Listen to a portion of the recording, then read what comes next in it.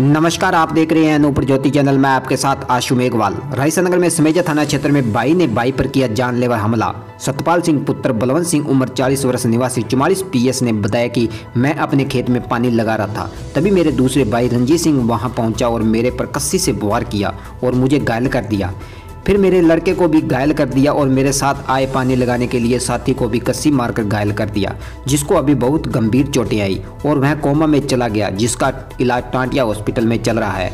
नौ तारीख की रात की घटना है, मैंने मुकदमा भी दर्ज करवाया, परंतु अभी तक कोई कार्रवाई नहीं हुई और अभी भी आरोपी खुला घूम रहा है और जान से मारने की धमकी दे रहा है, जिसको लेकर पुलिस प्रशासन को कई दफ़ा अवगत करवाया, परंतु पुलिस प्रशासन भी आरोपी का साथ दे रही है।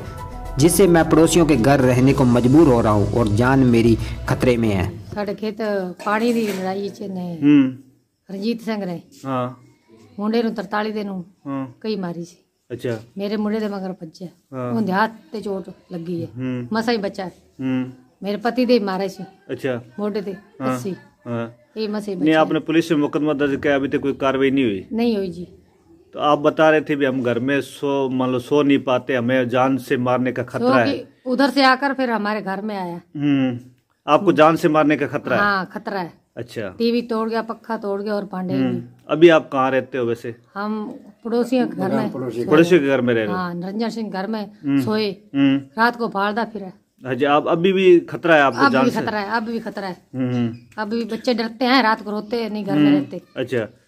पुलिस ने कोई कार्रवाई नहीं कोई कार्रवाई नहीं की। दो तीन बार फ़ोन भी किए। अच्छा। कोई सुनाई नहीं साड़ी।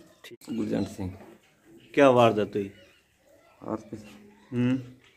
मेरे ये कब की घटना है? नौ तारीख रात को नौ बज के पचपन मिनट पर हम्म। चाचा था मेरा और खेत में आया था। रात को दारू पी थी। हम्म। और हम हम पानी लगा रहे थे। हम्म।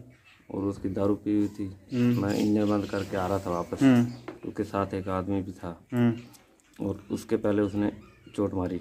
अच्छा। फिर मेरे किसके चोट मारी? सुरेंद्र सिंह के। हाँ। उसकी कितनी चोट लगी वो अब कहाँ है?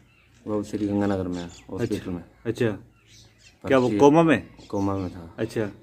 उसके बाद मेरे पीछे भागा। हम्म। और मेरे उसने तीन चार कस्सी मारी। हम्म। और मेरे हाथ पर लगी। उसके बाद मेरे पिताजी के हम्म। बाजी पर हम्म। कस्सी लगी।